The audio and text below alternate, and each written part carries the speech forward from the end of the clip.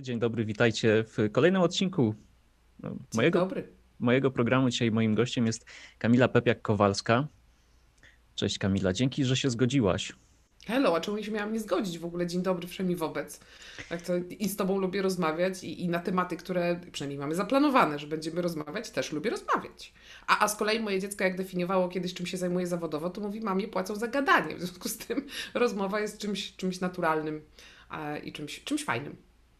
No właśnie, i tak y, kiedy myślałem o, o, naszym spotkaniu, to właśnie się zastanawiałem, jak ono może przebiegać, bo ty masz zupełnie inaczej niż ja, bo gdy cię poznałem w 2019 roku, e, jak prowadziłaś kongres Freeze i mhm. byłaś na tej scenie takim żywiołem. I, I tak cię postrzegam jako taki żywioł, i sama mówisz, że ludzie płacą ci za mówienie i masz do tego dużą łatwość i swobodę, to zastanawiałem się, jaka będzie dynamika naszej rozmowy. Ale już zaczynam powoli odczuwać tą dobrą energię, która od ciebie płynie z dalekiego Szczecina. To jest kwestia, gdzie się leży. Ty, jesteś w dalekiej centralnej Polsce, gdzieś między tak Łodzią a Piotrkowem. Jeszcze jestem w Łodzi, ale zaraz będę tak mhm. dokładnie się przemieszczał. To Kamila, jakbyś mogła mm, powiedzieć, czym się na co dzień zajmujesz? No, oprócz tego, że gadaniem, e, to słuchaniem też.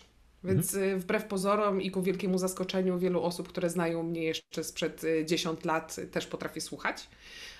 W związku z tym połączenie tych dwóch kombinacji spowodowało, że moje role nazywane są tak zawodowo. To, to jest rola konsultanta, rola trenera biznesu, e, rola, jaką też przyjmuję bardzo często w organizacjach, to jest też bycie coachem. Więc tak mi się wydaje, że te trzy role najlepiej, e, najlepiej definiują, natomiast one też bardzo fajnie, z mojej perspektywy, bardzo fajnie łączą też albo wykorzystują moje, mm, moje wykształcenie, bo z wykształcenia jestem politologiem, ekonomistą i pedagogiem. W związku z tym dla mnie to jest właśnie takie, takie połączenie tych trzech aspektów, tego big picture, tego aspektu biznesowego i tego aspektu andragogicznego i procesu uczenia się osób dorosłych, mm, żeby, żeby się w biznesie i jednostkom, i zespołom, i biznesom e, żyło lepiej. Dużo tematów wymieniłaś, nie? Na tym jednym oddechu. Ja lubię. E, zawsze tak miałaś? Zawsze wiedziałaś, że tak masz? Że tak mam, znaczy przede wszystkim nigdy nie wiedziałam, kim chcę być, to taka jedna rzecz. Natomiast zawsze wiedziałam, że, że lubię dużo, w sensie mhm. nie tyle co ilościowo, ale różnorodnie, o może w ten sposób, może bardziej nie, nie, nie na ilość, a na zdywersyfikowanie, w ogóle słowo dywersyfikacja to jest takie, pamiętam jak się nauczyłam go na ekonomii, to mi się tak podobało e, i bardzo często implementuję je też do życia takiego swojego osobistego i, i lubię dywersyfikację e, i w biznesie i, i jeżeli chodzi o pasy, pasję i o hobby, tak. E, tak, generalnie odkąd odkąd sięgam pamięcią, to, to nawet kiedyś się wkurzałam za dzieciaka, że, że tak moi znajomi mieli jakiś ulubiony przedmiot jakiś ulubiony sport, jakiś jeden, e, albo jakieś, jakieś swoje hobby takie konkretne, e, a ja tak i w kosza grałam e, i języków lubiłam się uczyć i to tak, żeby jeden naraz to nie, bo pamiętam nawet w Szczecinie u nas pan doktor Fal zorganizował eksperymentalną grupę uczenia się czterech języków naraz. Warunek był taki, że trzeba było jeden z tych czterech znać. Jedna rodzina języków, hiszpański, włoski, francuski, hiszpański, włoski, francuski i portugalski. Ja weszłam z hiszpańskim i bardzo mi się to podobało, że możemy czterech języków, na, trzech dodatkowych uczyć się naraz. Mm, I przez długi okres czasu mnie to frustrowało. Natomiast, e, natomiast bez dwóch zdań, no, a to, to jest ten moment, kiedy w 2019 roku się połączyliśmy też, e, dla mnie takim eye-openerem był, był wynik mojego testu FRIS. Jakkolwiek mhm. wcześniej robiłam sobie też badania, e, różnymi testami psychometrycznymi byłam badana, pomogły mi w dużym stopniu, wiele też uświadomiły. Natomiast FRIS taki był, badanie, wynik, ten, ten raport, jak przeczytałam, to był taki wow, ja cię kręcę, jestem w domu. To jest, to, jest, to jest z jednej strony normalne, fajnie, bo są jeszcze inni, którzy też tak mają. Więc chyba ta, ta takie zastanawianie się y, za dzieciaka, że, że skacze między tematami i nic nie, takie przeświadczenie było, że mam słomiany zapał, że nie potrafię nic dokończyć, że tylko zaczynam, że jestem niekonsekwentna, więc takie troszeczkę bardziej negatywna strona mocy. Nagle się okazało, że to nie jest tak do końca że, że jednak jest jakiś element pozytywny z tego wszystkiego, no to kwestia tego, jak ja, jak ja z tego korzystam, jak ja z tego skorzystam. I mi się podoba to w psychologii na przykład poznawczej, bo na niej bazuje Freeze. Um, nie wiem, czy to wyczytałam, czy to jest moje rozumienie też tej treści, że psychologia poznawcza mówi o tym, że nie ma czegoś takiego tak naprawdę jak, jak wady i zalety. Są mhm. pewne cechy, cnoty, przywary, które w zależności od intensywności, adekwatności do sytuacji, um, ekologii same, samego wykorzystania danego, danego zasobu, mogą działać na naszą korzyść, czy też korzyść naszego otoczenia i wtedy stają się zaletami, a może być zupełnie odwrotnie. częste pytanie, które zadaję swoim klientom, jak pracujemy na frisie, to jest właśnie, a upór? To wada czy zaleta? I podoba mi się ten moment, jak ludzie taką rozkminę mają na twarzy i tak chcą już coś powiedzieć, to pierwsze, co im przychodzi do głowy, a potem, ty, ale to zależy. Bo w sumie to można być upartym źle i takim jak osioł i to będzie niedobre, ale na dobrą sprawę, nie wiem, jak walczymy o coś dobrego na przykład, to może być to dla nas bardzo pozytywne i dla naszego otoczenia. I wracając trochę do tego, co powiedziałaś, że e, jesteśmy zestawem cech i ta cecha może być albo dobra, albo zła, jak najbardziej to mm, biorę od ciebie, bo nawet e, przenosząc to e, na moje, na moje własne doświadczenia, moja ulubiona okulistka powiedziała mi kiedyś, Maciek, nie przejmuj się, astygmatyzm to jest swojego rodzaju uroda, a nie coś, czym powinieneś się przejmować. I, i trochę Ty łatwiej... jesteś urokliwy. I, i, trochę, i trochę, trochę łatwiej było mi to wtedy zaakceptować. I też y, zaczęłaś nawiązywać w swojej wypowiedzi do Frisa jako narzędzia diagnostycznego. Mogłabyś nam przybliżyć, y, kim jesteś z punktu widzenia Frisa i co to znaczy?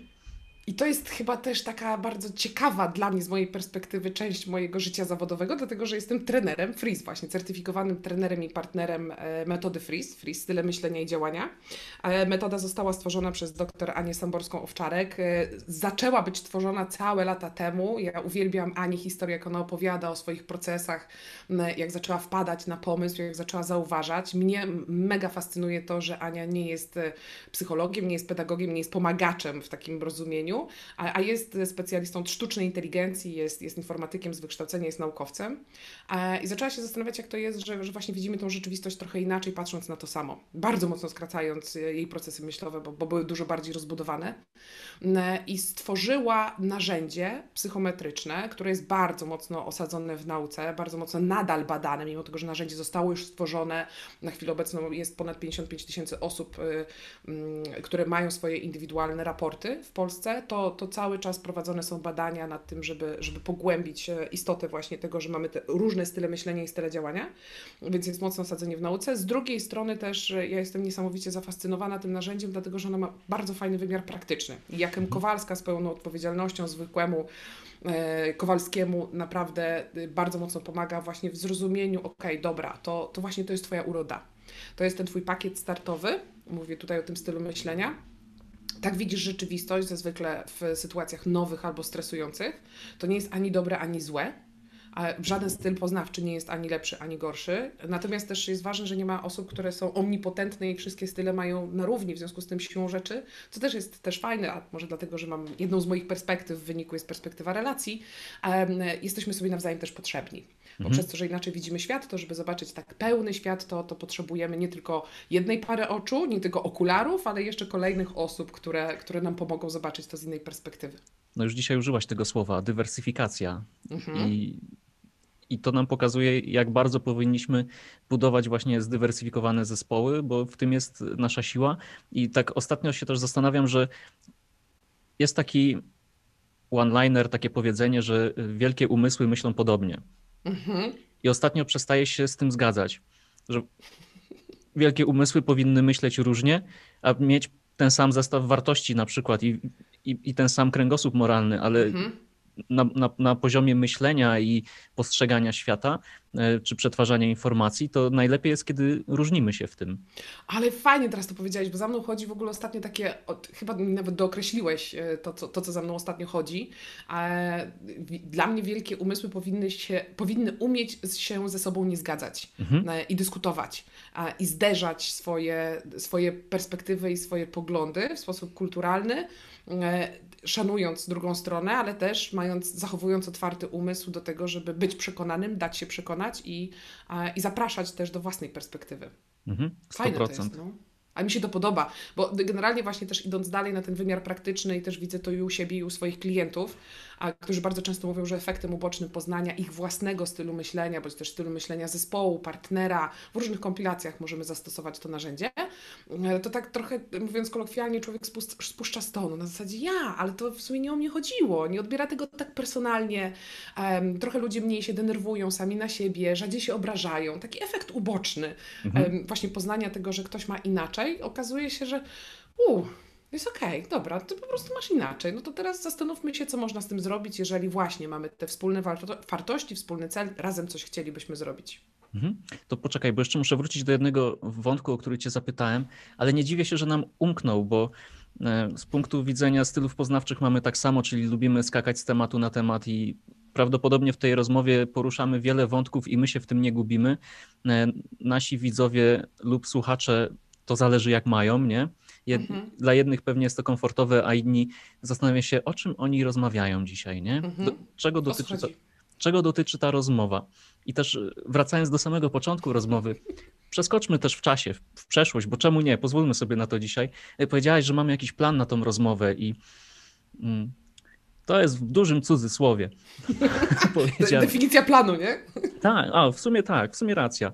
E, to tak, jak, to tak jak za chwilę przejdziemy do głównego tematu naszej rozmowy, czyli entuzjazm, bo ostatnio o tym rozmawialiśmy, jak, mhm. jak go kto przejawia, to mm, definicja to, jaką ja mam czegoś definicję, czy ty robi, robi robotę. To Kamila, mm, kim ty jesteś z punktu widzenia Frisa i co to według ciebie oznacza?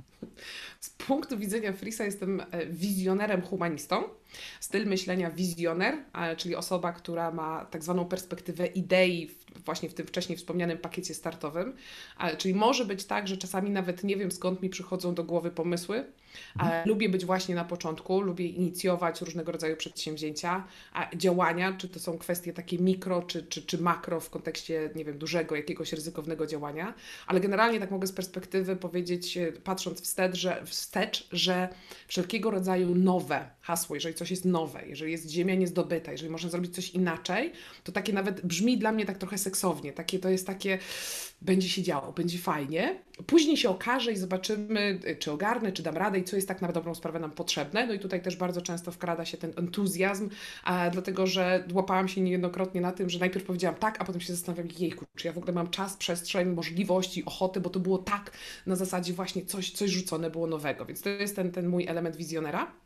Natomiast y, humanista oznacza, że na drugim miejscu w moim przypadku e, jest perspektywa relacji, czyli w, z perspektywy właśnie stylu działania, partner, relacje, y, interakcji między ludźmi, chęć takiego bycia w właśnie w tej, w tej interakcji, ja często, tak jak ostatnio jeden z moich przyjaciółek opisywałam, że ja lubię te warsztaty, czy lubię te przestrzenie, gdzie ja mam nawet takie poczucie i takie wrażenie, że się połączyliśmy. Jest taka scena w awatarze, e, gdzie, gdzie te awatary łączą się, i to żebym teraz nie, nie zdeprecjonowała samego filmu z tymi, z tymi ich stworami, z tymi zwierzętami, tak, tak, tak, pod te, tak te włosy tak się im fajnie łączą i one wtedy są połączone, to ja mam właśnie takie wrażenie, że to, to połączenie właśnie z tego serducha i z tego, z tego partnera y, wychodzi i czasami nie wiem skąd wiem. Naprawdę, to jest, to, jest, to jest denerwujące czasami, bo to jest nieuświadomiona kompetencja i ciężko replikowalna później i, i czasami nawet z boku jest mi ciężko powiedzieć, co takiego, co takiego zrealizowałam, czy, czy co takiego spowodowało. Brakuje mi trochę tego, brakuje mi właśnie tego takiego usystematyzowania, bo akurat perspektywę struktur, e, czyli, czyli tą, tą, ten aspekt badacza u mnie jest y, w najmniejszym stopniu widoczny i to jest coś, nad czym na przykład pracuję, bo ja zazdroszczę badaczom bardzo mocno właśnie tej perspektywy struktur i tego, że potrafią podejść w sposób uporządkowany, systematyczny, z boku, na spokojnie, mm, z dystansem. Właśnie jak mówiłaś o tym, że dla ciebie jest y, szybkie przejście od pomysłu do jakichś emocji, no nie? Że mhm. tak, wow, róbmy, faj, będzie fajnie. Tak jak o tym mówiłaś, to się zacząłem zastanawiać, jak ja mam, bo e, styl myślenia mamy ten sam, oboje jesteśmy mhm. wizjonerami. Z tym, że styl działania mamy kompletnie różny, bo ty jesteś humanistką, a ja jestem strategiem, czyli z punktu widzenia Freesa ja mam właśnie te struktury, te analizy, mhm. te ewaluacje wystrzelone czasami za wysoko według mnie i jak mówiłaś o tym, że ty w pomysły, pewnie te, które dotyczą e, współpracy z innymi ludźmi, bo człowiek pewnie gdzieś tutaj się też pojawia, to ja w takiej sytuacji, e, ja, ja tego nie czuję, bo u mnie się włącza mm, na zasadzie muszę o tym pomyśleć i najczęściej Aha. jest, że nie wiem. Okej, okay, no pomysł brzmi fajnie, mhm. ale nie wiem. I, I to jest często taki party killer w, mo w, moim przypadku, no nie? Że właśnie ktoś przychodzi do mnie i mówi: O, wow, stary, zmienię, odmienię twoje życie, bo mam taki i taki pomysł. Nie wiem, czy kojarzysz taką, e, jak się gasi świeczki, świeczki, mm -hmm, nie? Tak mm -hmm. palcem wskazującym i kciukiem, no nie? Mhm. To uczę się. Uczę się tego nie robić tak często jak kiedyś, bo wiem, mm -hmm. jak mhm. to może być dewastujące. E, co, co, co ty sądzisz o tego typu zjawiskach. Jak to wygląda z Twojej perspektywy? E, ja Ci powiem tak, że przez długi okres czasu, a szczególnie w nowych sytuacjach, i teraz na przykład praca zdalna też swoistego rodzaju nową sytuacją jest, mimo tego, że wiem, że, że nie każdy ma taki poziom entuzjazmu jak ja i, i szanuję i akceptuję, to gdzieś tam w środku tak, nie, tak, tak mi po prostu jest smutno, gdzie ja się właśnie do czegoś zapalam i tutaj mhm. naprawdę ekscytuję na poziomie nawet, nie wiem, tembru głosu, sposobu mówienia, ciała, mimiki i tak dalej, no praktycznie żyję jakimś tematem, a po drugiej stronie, no tak jak teraz Ty powiedziałeś, bo też w paru projektach działaliśmy razem i po drugiej stronie, mhm, ja, ja mam wrażenie, ja to tak nazywam, że ja tak nie mam właśnie tego kontaktu z bazą. Takie nie wiem, co jest i, i trochę mi smutno, taki smuteczek się wtedy robi, tak mi trochę przykro, tak na poziomie emocji. Natomiast to nie jest kompletnie żadna pretensja mhm. do, do osób, które w ten sposób reagują i pamiętam takie sytuacje, gdzie jak przechodziłam już w 100% na, na, na tą pracę zdalną, e, to ja też transparentnie wielu klientom mówiłam, że ja akurat tu, tu mówi, mówiąc o partnerach czy o wizjonerach, mówimy o tak zwanej zależności od pola. Czyli ja jestem zależna od pola, to co się dzieje w przestrzeni, właśnie ta, ta, to jaka jest reakcja, czy jest interakcja, interakcja, czy, czy jest ten kontakt i ta wymiana, przepływ emocji, nie wiem, to mogą być myśli, to mogą być słowa. Jeżeli to jest, to, to mnie to nakręca i mi, się lepiej tak funkcjonuje. Natomiast no właśnie, tak jak Ty powiedziałeś, nie każdy tak ma i ja wracając do tego, o czym zaczęłam mówić, e, proszę, czy prosiłam bardzo klientów, że jeżeli jest to dla nich ok, na przykład, żeby włączali kamerki, żeby dawali znać, na przykład nawet takim, tak jak Ty teraz, kiwając głową, że, że gdzieś tam jesteśmy po drugiej stronie i idziemy w dobrą stronę, albo żeby się nie zgadzali, ale żeby właśnie była ta, ta interakcja, no właśnie, w jedną, w drugą stronę, bo jeżeli tego nie ma, to, to po, po nie wiem, po Inaczej, mogłabym porównać, porównywałam nawet takie godzinne, dwu, trzygodzinne spotkania czy warsztaty, gdzie była ta interakcja, z jakimi emocjami, jak, na jakim poziomie zmęczenia kończyłam, w porównaniu do tych, gdzie na przykład rozmawiałam do ikonek, albo hmm. z różnych powodów nie było tej, tej interakcji, nie było tej relacji, to no, czasowo niby teoretycznie spędziłam tyle samo czasu, natomiast poziom zmęczenia w tym drugim przypadku powodował, że ja, ja fizycznie miałam wrażenie, że ja jestem e, totalnie wykończona i więc to na, tak na poziomie nawet takiego mm, właśnie efektywności pracy czasami to widać. Natomiast to jest moja prośba, ale w drugą stronę też, bo też lubię słuchać informacji zwrotnych od ludzi. Nie wiem, czy ty tak masz, ale z wieloma osobami, które właśnie mają trochę mniejszą tą zależność od pola, trochę bardziej dają sobie przestrzeń do tego, żeby powiedzieć nie wiem, potrzebuję się zastanowić, albo nie mam zamiaru gdzieś tam z tyłu głowy, nie mam zamiaru, nie mam ochoty teraz ci odpowiadać, potrzebuję przemyśleć a, i oczekuję, że to uszanujesz. W związku z tym nawet nie zawsze jest to, to, to ta reakcja jest właśnie widoczna gdzieś wsobnie sobie te osoby myślą, ale to z kolei wiem, że mój entuzjazm może powodować u nich wręcz ból głowy e, mhm. dyskomfort, hmm. mogą odczuwać presję, mogą odczuwać e, takie gorsze samopoczucie, mogą wręcz nie chcieć przebywać z takimi osobami, które no, są takimi, no, nie wiem, wodotryskami, jeżeli chodzi o pomysły i emocje, bo tego jest po prostu aż, aż za dużo to też dla mnie jest okej. Okay. To ja jak najbardziej w tym, w tym momencie rozumiem. I tutaj pojawia się kwestie, dwie kwestie się pojawiają, które są dla mnie bardzo istotne zawodowo. E, po pierwsze, wywodząca się z coachingu zasada, jak uczę coachów, bo oprócz tego, że jestem coachem, mam przyjemność też być mentor coachem i, i przygotowuję coachów do certyfikacji, e, to, to mam zwyczaju mówić i podpisuję się. I ja osobiście i moje doświadczenia też w roli mentora czy superwizora potwierdzają to, że nie każdy klient dla każdego coacha, nie każdy coach dla każdego klienta. A między innymi, to nie jest jedyny powód, ale między innymi z tego powodu, o którym przed chwilą rozmawialiśmy. Mamy różny poziom właśnie potrzeby potrzebę też i, i, brania i wyrażania tego entuzjazmu, inaczej też to robimy. I druga kwestia, która tak mi się wydaje, teraz chyba pierwszy raz na głos to powiem, coś co zadziałało w, w naszej współpracy, to wydaje mi się, że y, dużą rolę odegrało zakontraktowanie.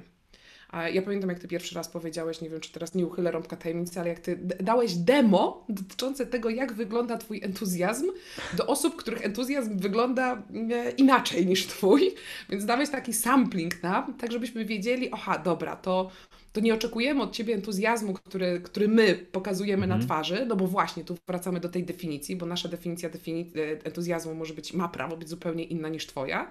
I powiem Ci, że tak z perspektywy, e, to nie wiem, chciałabym powiedzieć, że e, bardzo mi się podobało, jak, jak bardzo asertywnie po prostu powiedziałeś, a ja mam inaczej. Mhm. Mój entuzjazm wygląda w taki i taki sposób. I okej, okay, takie deal with it. No jesteśmy dorośli, teraz nikt na nikogo się nie, nie, nie będzie obrażał, że ma inaczej. Um, więc, więc to mi się podoba, właśnie tam przestrzeń do tego, żebyśmy jako dorosłe osoby sobie zakontraktowali, zadbali o swoją przestrzeń i powiedzieli, ale czego od siebie nawzajem oczekujemy um, i, i jak, jak możemy wejść w taką y, konstruktywną współpracę w związku z tym. Mhm. No, dzięki, że, że tą asertywną, asertywność doceniasz. Wiesz co, ja się przez lata nauczyłem tego, że jeżeli jasno nie postawię sprawy jak mam, to później ja będę cierpiał, że ktoś cierpi. Bo pomimo tego, że ten mój entuzjazm nie zawsze go widać, jak myślę sobie o świecie zdalnym, to ja i o, i o spotkaniach online, to ja wyrażam dużo częściej entuzjazm niż kiedykolwiek. Bo jak Mm. myślę o spotkaniach online, to jestem osobą, która najwięcej e, komunikuje w postaci właśnie różnego rodzaju reakcji, emoji. Po prostu Mhm. można powiedzieć, że ja tym nawalam na lewo i prawo, e, wyrażając w ten sposób emocje i jakieś stany, które we mnie się dzieją, bo te obrazki mi w tym najbardziej pomagają i z drugiej strony są najbardziej optymalne do tego, żeby wyrazić to, co chcę wyrazić. Słowo Mhm. optymalne używam tutaj nie bez przyczyny, bo jest to jedno z takich słów kluczy dla mnie. Jeżeli robimy coś optymalnie, to wtedy będę odczuwał taki swój wewnętrzny e, entuzjazm. I przez lata, no, można powiedzieć, pracy nad sobą po to, żeby być bardziej strawialnym dla drugiego człowieka, to wiem, że jak zaczynamy współpracę, a- a że znamy się już od jakiegoś czasu, ale teraz zaczynamy współpracować dosyć blisko i intensywnie, to ja wolę, żebyś ty, ponieważ masz inaczej, wiedziała, czego się możesz po mnie spodziewać i jeżeli ja na przykład będę chciał właśnie pokazać ten entuzjazm, to zrobię to zupełnie inaczej niż ty. I z mojego punktu widzenia idealnie by było, żeby ta druga osoba to zaakceptowała, że ja mam po prostu inaczej. No w Mhm. naszym przypadku jest to łatwiej, bo, mm, bo ty masz, bo ty wiesz, jak, bo ty wiesz, że inni ludzie mają po prostu inaczej. Mhm.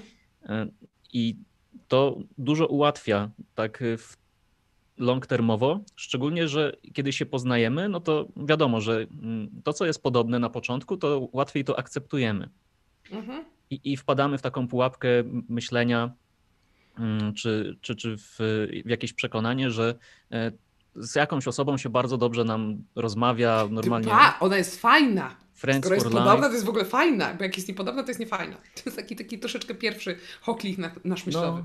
No. Błąd, ale, ale tak nam się często pojawia. Tak, właśnie, właśnie w tym pierwszym kontakcie, nie? Bo, bo jest po prostu łatwiej. Mhm. Załóżmy, że ja spotykam kogoś o moim poziomie entuzjazmu i wyrażamy go w taki mm, stoicki, zdystansowany sposób. I jest super, nie? Mhm. Dla nas. Mm, Ale czasami ten entuzjazm nie jest potrzebny, szczególnie, że teraz mamy takie czasy, że no nie widzimy się, nie możemy sobie przybić piątki tak y, fizycznie. Więc w jakiś sposób musimy inaczej zadbać o te relacje, nawet jeżeli Miałoby to się wiązać z tym, że ktoś na spotkaniu poprosi, miejcie włączone te kamerki, bo tego potrzebuję, żeby mieć z wami jakąś bazę i wiedzieć, Mhm. że jak kiwacie głowami, to że mniej więcej trafia to, to, co do was mówię, a nie przy wyłączonych kamerach, że no właśnie jesteście w zupełnie innym świecie i robicie cokolwiek innego niezwiązanego z tym, a ja wkładam tu serducho, żeby to działało. Mhm. I też Fajną tak, rzecz teraz powiedziałeś w ogóle. Nie wiem, czy zwróciłeś uwagę, ale od kiedy pracujemy szeroko i e, w online'ach, e, to pojawił się, zresztą paru moich klientów już zwróciło na to uwagę, że taki znak czasów jest, że jak zwykle kończymy takie grupowe spotkania czy też warsztaty, to jak się żegnamy. To do Mhm. siebie machamy, czyli jest to wyrażenie tego, jak, jakieś, Tak. jakieś wyrażenie emocji, entuzjazmu. No rzadko jak byliśmy na sali, no gdzieś tam jak ktoś wychodził w drzwiach, to może widzenia, cześć. Mhm. E, na- Natomiast machania takiego nie było, a teraz, teraz było. właśnie zupełnie naturalnie, bo, bo człowieki tak potrzebują od czasu do czasu właśnie e, w analizie transakcyjnej nazywa się to dawaniem i braniem znaków rozpoznania, tak zwana ekonomia znaków rozpoznania.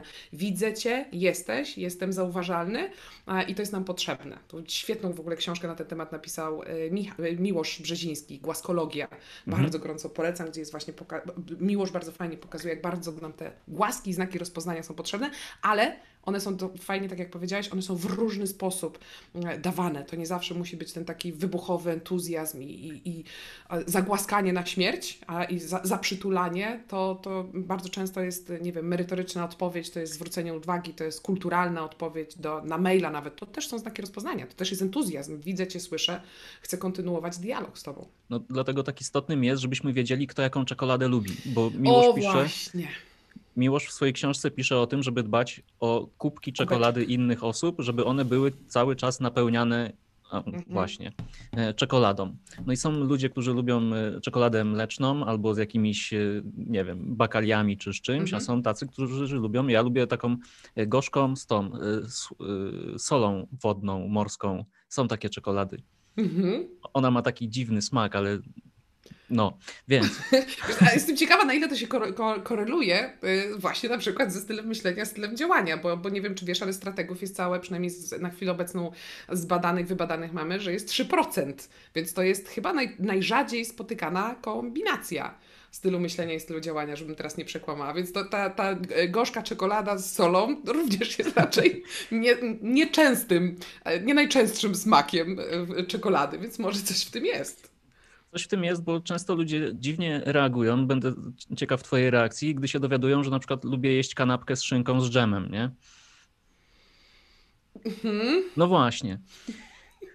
E, I e, w kontekście okay. tego, że różni ludzie mają różnie, to warto zacząć od siebie, skumać jak się ma. Pamiętam taką sytuację tak. z mojej przeszłości, jak nie kumałem jak mam i się źle, źle z tym czułem, bo kiedyś dostałem informację zwrotną, byłem na jakimś szkoleniu, z jakiejś komunikacji czy z czegoś takiego.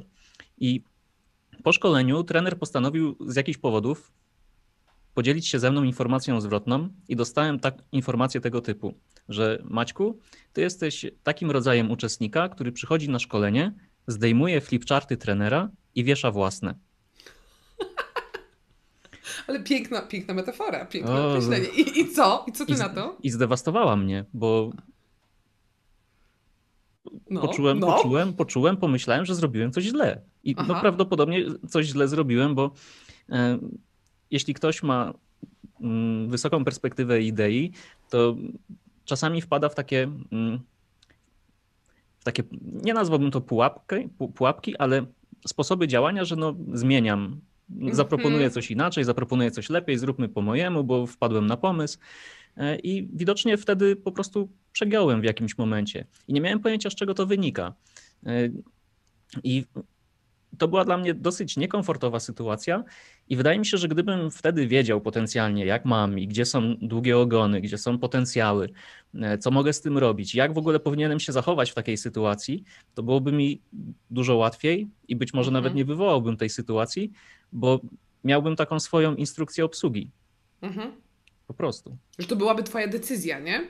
Bardzo mhm. często klienci właśnie tak mówią, że to jest też kolejny efekt uboczny, bo wcale nie po to um, decydują się na, na zrobienie badania y, kwestionariuszem Freeze. E, natomiast taki efekt uboczny, że aha, dobrze, to ja teraz mogę zdecydować, jak działam. Nie wiem na ile intencjonalne, bo tu się nie pytałam y, doktora Niesamborskiego-Wczarek, ale bardzo mi się podoba rozróżnienie terminologii, styl myślenia, styl działania. Myślenie ma to do siebie, że jest w głowie. I mhm. to my jako osoby dorosłe decydujemy, czy to co nam przyjdzie do głowy. Niezależnie od tego, czy to fajne, czy nie fajne, ale to my decydujemy, koniec końców, czy paszczowo-werbalnie wypuścimy to na świat. Więc ten styl myślenia, ta, ta najwyższa perspektywa, to jest, to jest coś takiego bardzo naszego, bardzo często uruchamia nam się właśnie w nowych sytuacjach. Domyślam się, że akurat w Twoim przypadku mogła to być nowa sytuacja, nowy trener, nowe otoczenie. W związku z tym gdzieś właśnie ten, ten styl myślenia mógł tutaj się uruchomić. Natomiast e, im dłużej pracuję i z freesem, i z klientami, którzy mają freesa zrobionego, i, i na tapet biorę swoje też długie ogony, bo, bo to jest permanentna praca. To nie jest tak, że o, teraz mam już super, wszystko fajnie, jestem zadowolona, bo nie. E, to mimo wszystko gdzieś coraz, większą, e, coraz większym szacunkiem darzę właśnie styl działania, czyli to, jak ja decyduję koniec końców się zachować, czy ja podejmę decyzję, czy w tym danym przypadku rzeczywiście ten pierwszy pomysł z perspektywy na przykład idei, jeżeli mi przyjdzie do głowy super fajnie, to ja ściągam jego flipcharty i ja mówię po swojemu, bo ja wiem lepiej. Mhm. Been there, done that wielokrotnie, po łapkach dostałam. Ja tutaj miałem dużo swoich przygód ze szkoły czy ze studiów, gdzie, gdzie akurat byłam uznawana za tą pyskatą, za tą, która się czepia, wymądrza, lądowałam za drzwiami. E, więc e, tak, to, to, to właśnie zdejmę, zdejmę flipcharty trenera, nauczyciela, pedagoga i powieszę swoje. A czemu nie? Zobaczymy, jak, jak to wyjdzie. I przekonwertowałam się mimo wszystko na taką strategię, ok, dobra, czy, czy, czy o to tu chodzi? Mhm. Czy rzeczywiście to jest potrzebne? Jeżeli tak, to komu? Czy mi, czy trenerowi?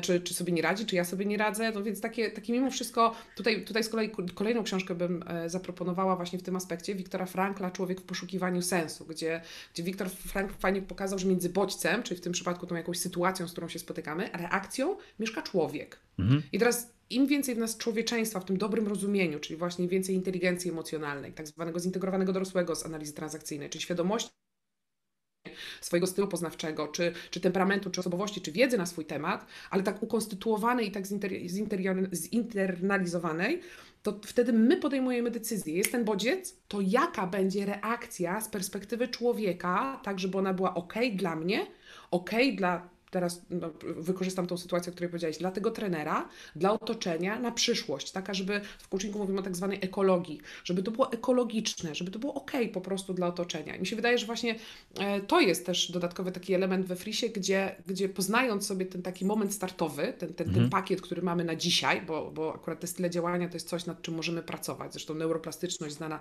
szeroko od końca lat 60. tutaj idzie nam w sukurs. Wcale nie jest to prosta sprawa, ale możemy nad pewnymi no, obszarami swojego jestestwa popracować.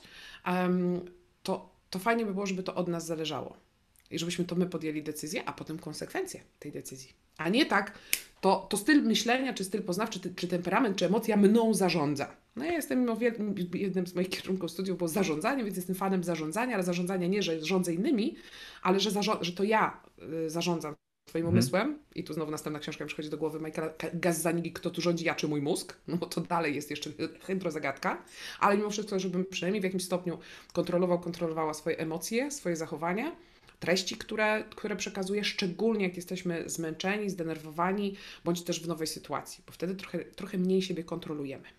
100%. Nie wiem jak ty, mm, ale ja miałem przez lata tak, że na spotkaniach różnych, takich biznesowych, w ogóle mi nie przeszkadzało, jak wybuchały granaty, albo sam czasami wrzucałem Fajne. jakiś granat i patrzyłem, co się dzieje, nie? jak ludzie reagują. No. E, dla mnie było zawsze ciekawie bo nie wiadomo było, co się wydarzy. Okej, okay, czasami ten granat wybuchał w twarz i trzeba było mm -hmm. tego ponosić konsekwencje, ale zazwyczaj koniec końców to było fajne doświadczenie, nie? Mm -hmm. takie trudne do powtórzenia, takie challenge'ujące innych, challenge'ujące mnie w tej sytuacji i przez y, ostatni, nie wiem, rok, dwa, trzy lata temu zrozumiałem, że człowieku, nie każdy lubi, jak wybuchają granaty na sali, w sali konferencyjnej, nie? To, to jest po prostu no to było dla mnie jakieś takie objawienie, że no nie każdy musi mieć tak jak, ma, tak jak ja, że jak jest ciekawie, to jest fajnie, bo są ludzie, którzy lubią, że y, lubią, kiedy jest właśnie poukładany, kiedy wiemy, co się mhm. wydarzy, kiedy mamy przekonanie, że po punkcie A będzie punkt B, a nie przeskoczymy nagle do punktu Z. Y, I rzeczywistość jest dużo bardziej przewidywalna. Mhm. I to, to, to, badanie jako FRIS właśnie pokazuje tego typu e, różnorodności pomiędzy ludźmi i, i w zasadzie potrzeby. Czego ty mhm. jako człowiek potrzebujesz? Bo na przykład wracając do tego entuzjazmu, przez który dzisiaj już trochę się prześliznęliśmy, ale będziemy musieli do tego wrócić w kolejnym odcinku, tak coś czuję. Że, że nie ja skończy się... entuzjastycznie słucham, jakby nie było, więc entuzjazm nie, cały czas mam. Nie skończy się na moim jednorazowym zaproszeniu, ale przechodząc nawet do tego entuzjazmu jak nie znam kogoś, a nawet jak kogoś znam i, i ktoś przychodzi z takim pomysłem zmieniającym moje życie, to ja się boję na przykład tego, co się może wydarzyć. Przez to, że mam tą wysoką, wysoką strukturę, e, struktury w Frisie, czyli tą analizę, ewaluację, to jak ktoś przychodzi i mówi zmienię twoje życie, to ja gdzieś tak, wiesz, odsuwam się. Okej. Okay co się teraz wydarzy, nie? I to jest takie jakby, tak jakby wrzucenie we mnie tego granata, mm, że to, to jest ten moment niepewności, który dla mnie jest niekomfortowy. Mhm. I to tak y, może skutkować tym, że jakimś y, dziwnym wyrazem twarzy, że nie wiem, marszczące czoło się albo zaduma, no nie? I wtedy ty mówiłaś, że potrzebujesz wiedzieć, że masz kontakt z bazą. Mhm. Nie? I zdarza ci się mieć taką sytuację, że właśnie przychodzisz do kogoś i ta osoba się tak trochę w sobie E, a, czy ja jestem tym, który wrzuca, tak? I tym, no. który zmienia, i, i, tym, który powoduje, że ktoś się boi.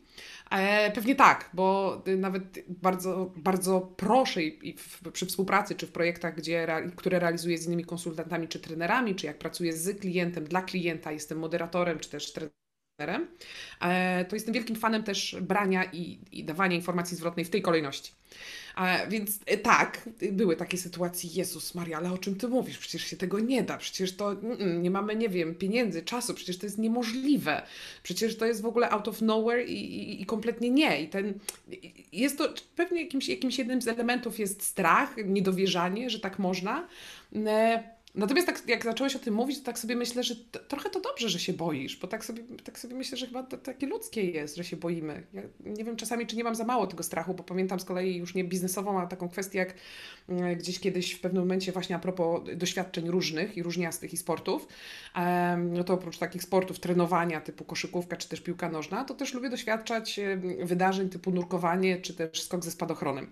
Mhm. E, I pamiętam, jak dostałam na którejś swojej urodziny właśnie skok ze spadochronem, wymyśliłam sobie, wymarzyłam, e, że, że chciałabym, żeby moje dziecko zobaczyło ten, ten skok, tak jak, tak nie wiem, że mama jest odważna, że nie tylko tata e, jest odważny, ale że mama też. No akurat mąż wtedy nie mógł tego oglądać, bo był na misji. W związku z tym z tym moim dzieckiem do Inowrocławia, pamiętam, pojechałam i jemu się to rzeczywiście podobało. Ja skoczyłam, w ogóle skok był bardzo fajny, polecam i tak dalej. Natomiast a propos tego strachu, mhm. później jak taka rozentuzjazmowana opowiadałam to przynajmniej wobec, no to po, przynajmniej w moim życiu to było takie, takie fajne, ważne wydarzenie. Pamiętam klatka, klatka klatka po klatce, jak się do tego przygotowałam, jak się nawet udało mi nie do końca bać tego momentu wyskoku, mm, to od wielu osób usłyszałam właśnie, ale czy ty się nie bałaś? Czy ty jesteś normalna? Przecież ty zabrałaś dziecko, przecież twój mąż jest na misji, przecież mogło się z tobą coś stać. I nagle wtedy się zorientowałam, ja cię kręcę, oni mają rację. Czemu ja się nie wycofałam? Czemu ja się nie bałam? Przecież to nie było do końca odpowiedzialne. Z perspektywy czasu, bo już trochę minęło od tego e, skoku pierwszego, z perspektywy czasu e, mam takie wrażenie, taką trochę ambiwalencję, bo miałam wrażenie, że ich terminy, ich obawy, ich, ich słowa były, mają swoje racje, mhm. ale z drugiej strony też rację miało to szaleństwo przy tym wszystkim, więc nie wiem, taki, tak ja sobie, sobie myślę, że ja nie mam prawa do tego, żeby mówić, że ktoś ma lepiej, ktoś ma gorzej, że się ktoś nie boi, to, to dobrze, jeżeli się boi, to, to niedobrze, albo odwrotnie. Natomiast właśnie podbiję to co, to, co dzisiaj już parę razy powiedziałeś, świadomość tego, jak mam w tym swoim pakiecie startowym e, i podjęcie decyzji, ok, to czy ja na przykład wbrew swojemu strachowi i lękowi coś zrobię, czy też mając świadomość, że gdzieś mam trochę zbyt daleko przesunięte te granice, może czasami zdrowego rozsądku, od czasu do czasu, zanim powiem tak, zanim skoczę, w tym przypadku dosłownie, by na pewno y, właśnie ten entuzjazm nie przysłania mi trochę, e, nie wiem, mądrości nawet czasami jakiejś, czy racjonalności, czy sensowności danego działania, bo, bo też mam w swoim dorobku doświadczenia, gdzie tego entuzjazmu było więcej niż rozsądku. No nie zawsze się to musiało tak skończyć dobrze, jak na przykład rzeczony skok ze spadochronem, bo tutaj wszystko było fajnie, rewelacyjnie, łącznie z tym, bo happy end jest taki bardzo duży, że moje dziecko podbiegło do pana instruktora, który ze mną skakał, że on spytał się, od którego roku życia można skakać, bo on też chce. Mhm. Więc success story tutaj jest. Natomiast y, y, ja jestem wielkim fanem balansu. To Kamila, jakbyś mm, mogła sobie wyobrazić taką sytuację, mm, sytuację, nie sytuację, bo jak właśnie mam do czynienia z kimś, kto jest nadentuzjastyczny, to ukułem sobie kiedyś takie, taką, defini taką definicję, słowo overhype.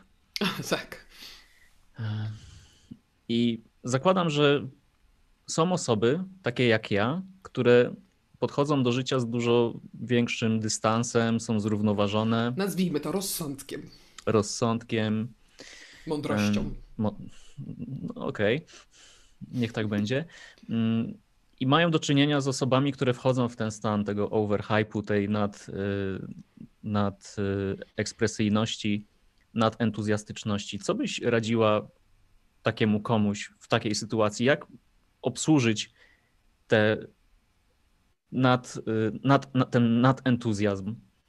Wiesz co, entuzjazm karmi się entuzjazmem, a to jest taki tlen trochę, więc y, im bardziej ktoś jest entuzjastyczny, a my do tego podchodzimy entuzjastycznie jeszcze bardziej, to to jest taka vicious circle, to się tak mhm. nakręca, że w pewnym momencie nie wiadomo już o czym mówimy i jesteśmy hiperwentylacja, przy tym właśnie entuzjazmie możemy dostać i to nie jest dobre ani dla jednej, ani dla drugiej strony. Takie pierwsze, co mi przychodzi do głowy, to, to właśnie trochę ta świeczka, Maciek, tylko że może niekoniecznie tak i tak gasimy bardzo mocno, ale poczekać aż ta świeczka się wypali, bo ona przecież nie będzie paliła się wiecznie, więc takie y, aktywne słuchanie chyba tak sobie myślę, jak patrzę z własnej perspektywy totalnie egoistycznej, ale obserwując w ogóle na przykład takie duety, bo z takimi mam duetami czy e, zawodowo, czy też prywatnie do czynienia, to takim patentem na, tego, na takiego e, hiperentuzjastę e, jest cierpliwość, jest mhm. wysłuchanie, no w pewnym momencie już tak zejdzie. Emocja, entuzjazm to emocja, emocja jest falą. Każda fala, jakiej nie za bardzo przytrzymujemy, to ona tak przyjdzie i za moment odejdzie. Więc cierpliwość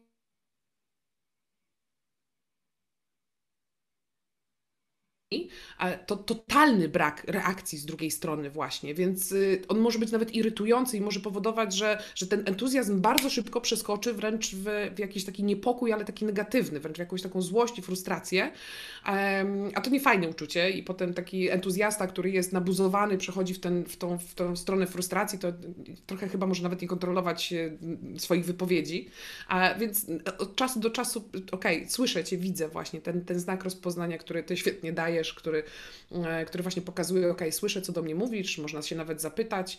E, Dzisiaj w czasach online, jak tak współpracujemy ze sobą, to takim ludziom jak ja jest łatwiej chyba trochę. Tak jak o tym myślę. A tak jak Wiesz, ty masz, tak jak... może być ci trudniej.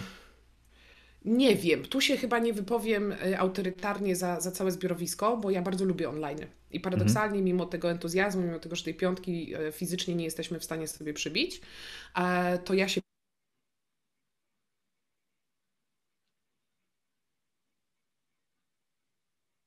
online. Od marca jestem w 100%. Całkowicie przeniosłam swój biznes do online'u z założeniem, że nie wykluczam też możliwości w ogóle tak, tak po prostu zostania tutaj. Mi jest dobrze w online'ach. Mhm. Więc, więc ja tutaj nie, chyba nie jestem kompletnie reprezentatywna i, i, nawet nie chcę mówić, że, że to jest z perspektywy właśnie y, mojej idei, czy to, czy to moje wizjonerstwo, czy ten entuzjazm pomaga, czy przeszkadza, bo mi się wydaje, że to jest jakiś jeszcze inny, inny oboczny zestaw. A co możesz doradzić takim ludziom, dla których online jest dzisiaj swego rodzaju niewygodną sytuacją, delikatnie rzecz ujmując. Właśnie z tego punktu widzenia, że nie ma e, kontaktu z drugą osobą, że te relacje są bardziej na światłowodach niż e, w, wiesz, w żółwikach stykających się na korytarzu. E, wiesz co, ja bym chciała trochę zdemitologizować to, że nie ma relacji. Mhm. Trochę chyba się uruchamiam, jak jest to, to zdanie wypowiadane, dlatego że się z nim nie zgadzam.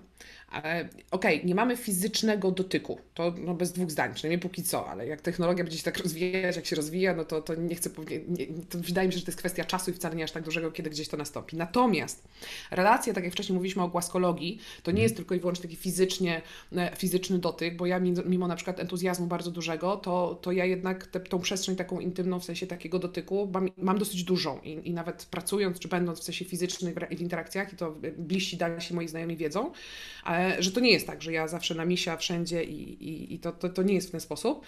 Natomiast y, praca zdalna, y, czy w ogóle współpraca zdalna, czy rozmowa online też daje przestrzeń do tego, żeby była relacja. I to jest coś, co, do czego doświadczyłam, zanim jeszcze weszliśmy tak wszyscy razem w 100% do online'ów. Ja w online mam przyjemność pracować coachingowo w ogóle od 12 lat. I pamiętam do tej pory takie sesje, gdzie y, klienci dawali informacje zwrotu, na przykład po całym procesie, e, że nawet wyłączenie kamery było czymś, co pomagało im wejść w relacje, że wchodzili dosłownie, nakładali sobie słuchawki na uszy, czasami zamykali oczy, byli tylko i wyłącznie w dialogu, który był w danym momencie prowadzony, nie skupiali się na widzeniu swojej twarzy, co też jest takim um, dyskomfortem dla wielu z nas, może być, e, nie skupiali się na twarzy drugiej osoby coacha, który teraz y, patrzy się na nich i czeka na odpowiedź. E, i wiele osób mówiło, że to jest, y, że dla nich to było bardzo takie budujące relacje, takie, takie mm, zdarzenie bardzo no, no, chyba muszę użyć tego słowa, potrzebuję użyć tego słowa, że było, było bardzo intymne, więc ta relacja była budowana zawodowo. E, natomiast teraz, przechodząc już do tych czasów, kiedy, kiedy większość z nas, wielu z nas e, korzysta z tego, to uważam dalej, że można i teraz. E, co zrobić? Teraz, bo się pytasz, jaką radę bym dała. Wrócę do tego, o czym wcześniej mówiliśmy, czyli kontraktowania. Im więcej wiemy na swój temat, im więcej też jesteśmy przyjąć, że ktoś może mieć inaczej i godzimy się to, czyli mamy tak zwaną postawę OK, OK, ale tym lepiej, łatwiej jest nam rozpocząć w ogóle współpracę. Tego na przykład nauczyła mnie taka firma konsultingowa z Wielkiej Brytanii, z którą mam przyjemność współpracować. Przy paru projektach, jak na, szczególnie na początku, jakie realizowaliśmy, to dla mnie było szokiem, a jak nowo poznana osoba, gdzie właśnie zostałam z nią poznawana, to będzie tam Twoja pani konsultant, która się Tobą będzie opiekowała przy tym, przy tym kliencie i dostaje informację, Kamila, a jak Ty lubisz? Bo ja na przykład jak wysyłam mail maile, to dla mnie jest ważne. Jak dzwonię, to to jest ważne. A jak ty chcesz? Ja cię kręcę, nie wiem, nikt się o mnie, o nie pytał, mhm. ale potem szybko odpowiadałam, bo tak, tak jako wizjoner gdzieś szybko mi przyszły do głowy e, pomysły i odpowiedziałam i pamiętam do tej pory, jak właśnie wracałam z Londynu z, te, z takiego spotkania i mówię, ja, ale to było fajnie rewelacyjne, proste pytanie, czyli to był właśnie ten kontrakt, to było lata temu, mhm. e, który teraz bardzo mocno podbijam i teraz będzie ten element edukacyjny, z analizy transakcyjnej, na przykład kontrakt powinien się składać z trzech elementów. Administracyjny, czyli organizacyjny, żebyśmy się dogadali, co znaczy dla nas 15.30, ile czasu będziemy rozmawiać, nagrywamy nagrywamy, nie nagrywamy i tak dalej. Merytoryczny, po co? Jaki jest cel tego spotkania? Tak, żeby nie było tej frustracji, która niezależnie od tego, czy pracujemy zdalnie, czy niezdalnie, wielu z nas czasami e, ma takie w środku takie poczucie, że ale po co ja jestem na tym spotkaniu? O co w ogóle w nim chodzi, dlaczego ja w nim jestem, ja marnuję swój czas, powinienem być gdzieś indziej i tak tutaj e, to mnie nie dotyczy na przykład, albo to można by było mailem przesłać. Tutaj zdalne od niezdalnego się kompletnie nie, nie, nie różni, więc żebyśmy uwspólnili sobie po co. I aspekt psychologiczny właśnie, czyli tutaj wchodzi ta wiedza na temat freeze, czyli czego ty człowieku ode mnie potrzebujesz, właśnie jak wyrażasz, nie wyrażasz entuzjazmu. To jest jedna rzecz. Kolejna rzecz jest taka, e, że y, tutaj znowu analizą transakcyjną się posłużę, Analiza transakcyjna ma taki y, konstrukt y, strukturalizacji, strukturalizacji czasu. Oznacza to, że bardzo pokrótce, y, oznacza to, że każdy z nas ma jakieś takie w ciągu swojej doby, czy w, swojego, w, w ciągu swojego tygodnia, pewne preferencje do sposobu spędzania czasu. Jako mówiąc sposób, nie mam na myśli, nie wiem, praca, spanie i tak dalej, ale począwszy od tak zwanego wyodosobnienia, gdzie chcemy, potrzebujemy być sami i teraz każdy z nas tą potrzebę bycia samemu, bez żadnych bodźców zewnętrznych, też ma różną w ciągu doby, czy w ciągu ciągu dnia, e, przez pewne rytuały, przez pewną rozrywkę, przez pewną aktywność, przez pewną intymność i tak dalej. I teraz proporcje między właśnie tymi elementami strukturalizacji czasu nas bardzo różnią. I teraz jednym z tych elementów strukturalizacji czasu jest tak zwana aktywność. Aktywność jest przypisywana pracy. I mam wrażenie, tak jak pracuję z niektórymi zespołami, e, że właśnie ta, tylko te, te spotkania online'owe są przeznaczone tylko i wyłącznie na pracę, na takie robimy, mówimy, ma być konkret, mhm. pach, pach, pach, lecimy do brzegu, do brzegu, do brzegu Natomiast właśnie mówiąc o tej strukturalizacji czasu, my jako ludzie potrzebujemy też właśnie tak jak kiedyś było, rozmowy przy kawie, takiego pitu-pitu, niektórzy mniej, niektórzy więcej, ale gdzieś jakiś tam element jest potrzebny.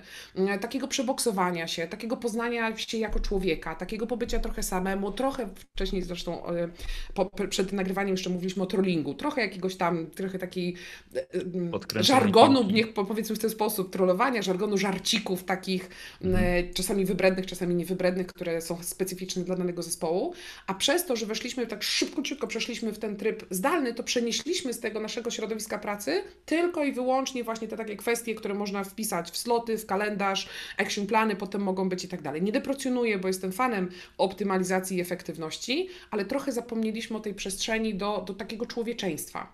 I teraz część z moich klientów znalazła sobie na to sposób i okazuje się, że te online wcale nie muszą być takie złe. Że może na przykład y, zrobić różnego rodzaju rytuały, te, które mieliśmy na przykład w firmie, ale w wersji online, czyli spotykamy się tak, ale nie spotykamy się po to, żeby rozmawiać o pracy, tylko jedna z z firm, którą bardzo szanuję, firma produkcyjna, gdzie e, HR, HR, szefowa HR-u zaproponowała na początku pandemii, żeby z rana, tam akurat same panie były, wszystkie dziewczyny się zdzwaniały z kawą, z herbatą na 15 minut, ale warunek jest jeden, każdy już jest ubrany, przygotowany do pracy, właśnie odpiżamowanie następuje, bo ono też jest dla nas bardzo, bardzo destrukcyjne mm, i spotykamy się tak, jakbyśmy się spotykali właśnie w firmie, tak pogadać, a co u Ciebie słychać? Gdzie mhm. jesteś człowieku? Tak? Czy czegoś nie potrzebujesz? Czy czegoś nie jest gorzej, nie jest lepiej i tak dalej. Ale to jest tylko czubek góry lodowej. Chodzi mi o to, żeby każdy znalazł swoje, żeby nie było kopiuj i wklej, każdy znalazł jakieś takie swoje właśnie e, rytuały, gdzie będzie nie tylko i wyłącznie o pracy, ale będzie też o, o czymś fajnym, o czymś przyjemnym. E, ja jestem też wielkim fanem one-to-one'ów, one-on-one'ów, one-to-one'ów, jak zwał, tak zwał. E, jeden na jeden spotkań, gdzie przełożony spotyka się ze swoim pracownikiem, nie tylko i wyłącznie po to, żeby porozmawiać na tematy operacyjne, mhm. ale po prostu tak po, człowiecze, po człowieczemu. Cześć Maciek, co słychać? Gdzie jesteś? Jak tam Twoja motywacja? Czego potrzebujesz ode mnie? Czego ja potrzebuję od Ciebie? Taki może mały update tego, co się dzieje. Pełna zgoda, plotki. albo jak, jaka była najdziwniejsza kanapka, jaką jadłaś, nie? Z czym? tak. Na przykład.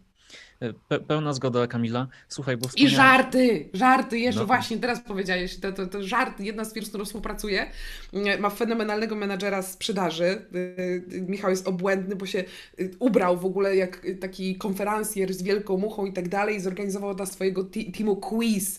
A pamiętam, że tam pomagała mu przygotowywać to wszystko. To wyszło fenomenalnie. Ludzie się hmm. świetnie bawili, oderwali właśnie od w ogóle rzeczywistości totalnie. I nagle się okazało, że właśnie wracamy do tego, że, że, to, że to nie jest złe, że w ogóle zapominamy, że jesteśmy w online, bo mamy wrażenie, że tego człowieka mamy niemalże dosłownie na wyciągnięcie ręki i w ogóle śmiejemy się, jakby jutra miało nie być. No, jest, no, jest fajnie. Jest naprawdę, może być normalnie. 100%. Umiejętność śmiania się z siebie jest mhm. dzisiaj, dzisiaj na wagę złota. Kamila, dzięki Ci za dzisiaj, bo zakontraktowaliśmy właśnie czas, który dobiega, dobiega do końca. Mm, I Nasza rozmowa nie odbywa się bez przyczyny, bo właśnie trwa 29. finał Wielkiej Orkiestry Świątecznej Pomocy, w którym jako Freeze wszyscy gramy i chcemy e, pomóc e, tej charytatywnej, szczytnej akcji zarobić jak najwięcej pieniędzy, bo po prostu robią dobro. Mhm. I jeśli mm, chcecie się spotkać z Kamilą na takiej sesji indywidualnej. Z Maćkiem też można, z Maćkiem też można. A Ja ze mną można na indywidualnej i na y, pary. A i na Par- pary par też. Tak, tak, bo mi się najbardziej podoba właśnie freeze w interakcjach. A, rozumiem. Kiedyś, kiedyś po takiej sesji dostałem SMS-a, że sesja Freeze pomogła mi zredefiniować moje małżeństwo. Tak, bardzo często. No, Mhm. więc jeżeli, je- jeżeli potrzebujecie albo chcecie pomóc po prostu, to ja Was zachęcam do licytowania aukcji Kamili i aukcji innych trenerów. Wszystkie namiary będą e, w opisie do tego materiału. Kamila, ostatnie słowa od Ciebie. Co byś chciała przekazać naszym widzom i słuchaczom? Jejku, ja bym chciała przekazać dużo. Ja y, do tych par tylko dorzucę, że to nie muszą być pary tylko i wyłącznie małżeńskie. To może być małżeństwo przez zasiedzenie też, ale to może być rodzic z dzieckiem, to mogą być przyjaciele, czy to mogą być wspólnicy. Chodzi o to, że po prostu dwie osoby ze sobą e, bywają, przebywają i chcą, i komunikują się i chcą to robić lepiej, fajniej, e, właśnie z większym poczuciem humoru, z większym dystansem do siebie, bez, bez, bez większej napinki, tak żeby po prostu powiedzieć, a, to teraz już wiem o co chodzi. A więc to taka definicja par. E, Wiesz co, ja chyba bym, mam taką potrzebę podsumowania od tego, co, o czym mówiliśmy, to tak, żeby usystematyzować, że mimo tego, że meandrowaliśmy sobie, i stąd też nazwa mojej firmy, Meander, że meandrowaliśmy sobie po różnych przestrzeniach, w różne zakręty sobie wędrowaliśmy, e, to tak na dobrą sprawę, to, takie było założenie nasze od samego początku, żeby gdzieś e, zaprosić do tego, żebyśmy wspólnie zastanowili się, że entuzjazm może być, jak wszystko inne, definiowany różnie i różnie pokazywany. I to, że ktoś ma inaczej, wcale nie znaczy, że ma gorzej, a to, co nam pomaga, to na pewno kontraktowanie, czyli e, odważenie się, żeby powiedzieć, słuchaj, ja mam tak, a jak ty masz, a czego ode mnie oczekujesz, jeżeli będzie inaczej? Wiesz co, jak ty tak masz, jak ty się nie, nie odzywasz, to ja odczuwam dyskomfort. To, to co możemy w związku z tym zrobić, żeby zadbać o siebie nawzajem, bo to nie o to chodzi, żebyś ty miał robić tak, jak ja chcę, albo odwrotnie. Um, też przez, p- pokrótce też przez, przez sam freeze, przez ideę freeza, bo na pewno nie daje sobie, nie dajemy sobie, wydaje mi się, że prawa do tego, żeby powiedzieć, że powiedzieliśmy wszystko o freezie, bo nawet nie mamy takiego zamiaru. I nie powiedzieliśmy nic o zawodnikach, bo akurat żadne z nas nie ma perspektywy e, faktów e, tak, tak mocnej, co nie znaczy, że to jest coś, coś złego. I pozdrawiamy wszystkich zawodników, którzy wytrzymali do tego momentu. Więc mamy te, te cztery perspektywy podstawowe. Wspominaliśmy Anię Samborską-Owczarek, której się teraz czka bardzo mocno. I wspominaliśmy to, że, że możemy mieć różnie i, i rozmawialiśmy też o, o pracy zdalnej i o tym, że może ona być jakoś połączona z, ze stylami poznawczymi, ale nie musi, że każdy może odnaleźć swoje własne e, przestrzenie w pracy zdalnej. To nie znaczy, że ona jest jedyna słuszna i najlepsza, ale, ale są pewne remedia, które można zastosować i ona nie będzie aż tak strasznie przeklinana. A Więc ja bym zaproponowała, że jeżeli coś nas, tak podsumowując, że jeżeli coś nas irytuje w nas albo w innych, albo w jakiejś sytuacji, jeżeli nas coś denerwuje, to warto się temu przyjrzeć. I zobaczyć, z jakiego powodu. A może jest tak, że tak jak Ty wspomniałeś, że tak łatwiej nam jest, jeżeli coś jest, e, ktoś jest do nas podobny, a może jest właśnie inne. I to jest jedyny powód, dla którego nas irytuje, a nie znaczy, że złe. E, A może być tak, że coś nam to mówi, czegoś brakuje nam, tak? Albo czegoś mamy za dużo, albo czegoś za mało. Więc ja wrócę tutaj do, do Wiktora Frankla, że między bodźcem a, reakcją jest człowiek. Czyli jeżeli jest jakiś bodziec, jakaś irytacja, jakiś dyskomfort, to warto się zastanowić właśnie, jak chcemy w danym momencie na to zareagować, żeby to perspektywicznie i dla nas, i dla naszego otoczenia, i dla osób, które są e, bliżej i dalej, i, w czasie też odsunięte, żeby to było po prostu ok, najzwyczajniej w świecie, żebyśmy byli dla siebie fajnymi ludźmi, bo tak na dobrą sprawę to każdy z tych stylów, bo to, to jest temat nasz przewodni, każdy z tych stylów e, freesa poznawczych jest fajny, każdy ma mnóstwo rzeczy do zaoferowania, z czystą przyjemnością przyglądam się zespołom, które świadomie pracują, właśnie celowo łącząc się e, w, na zasadzie, jak to Karolina Papieruch zawsze mówi, delegowania deficytów, czyli dobieram sobie ludzi, którzy mają inaczej niż ja, bo to jest fajne. A jeżeli przy okazji, jeszcze z okazji 29 finału Wielkiej Orkiestry Świątecznej Pomocy, możemy przy tym jeszcze pomóc, mm, i co jest ciekawe, właśnie nawet tak, tak mnie tchnęło, bo w tym roku pomagamy oddziałowi laryngologii i otoryngologii. E, I, I tak chyba chciałabym tym zakończyć właśnie, że zarabiam na, na życie mówieniem, ale słyszenie i słuchanie też jest bardzo ważne. Dzięki za dzisiaj. Dziękuję.